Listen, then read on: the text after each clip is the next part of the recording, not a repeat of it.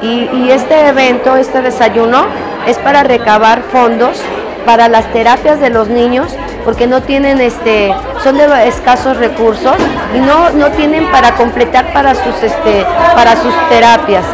Entonces este desayuno se hizo para recabar precisamente para fondos para sus terapias. Y aquí se consiguieron por lo que tú viste tres, tres padrinos para los niños que ellas puedan continuar con sus terapias yo tengo niños tengo 10 niños becados porque es una discapacidad. Se les entregó una beca para discapacidad a 10 niños del centro de autismo, que fue el apoyo que, otorgó el DIF. Este centro se fundó, se abrió, las puertas el 26 de abril de este año y el motivo principal de esto es poderles traer a todos estos pequeños que sufren del espectro del autismo las terapias necesarias y los tratamientos necesarios para que ellos puedan integrarse a la sociedad.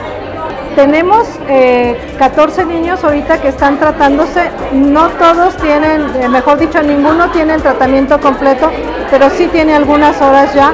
Tenemos 36 niños en lista de espera, eh, tenemos 10 niños que viene siendo de Ciudad de Hidalgo, de Ocampo, de Cungapeo. necesitamos seguir trabajando con ellos. No se tienen estadísticas exactas de cuántos niños aún no hay se está haciendo un estudio en la Ciudad de México para saber cuántos niños podemos tener eh, con problemas de autismo. Lo único que sí que nos están llegando más casos que, se está haciendo a pocos escasos de dos meses. Ya tenemos 50, 50 niños. Es, realmente es una, parece ser que la población es alta eh, y que empiezan a salir, los, mismos papás están empezando a dar la, la publicidad con los otros pues que hay que sensibilizarnos. Este, nada nos cuesta con, por ser padrinos de un niño, te cuesta 50 pesos al mes ser padrino de un niño. Hay que hacer conciencia de que por, por una obra que uno haga, beneficias mucho a un niño que puede ser feliz en el futuro.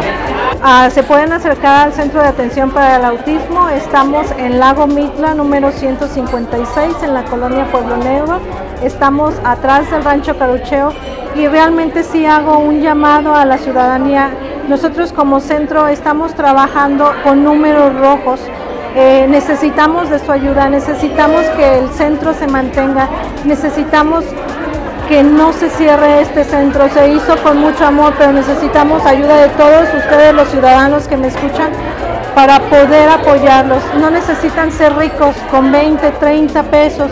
Lo que ustedes puedan, podemos ayudar y podemos juntarlos para que un niño hagamos el cambio para ese pequeño.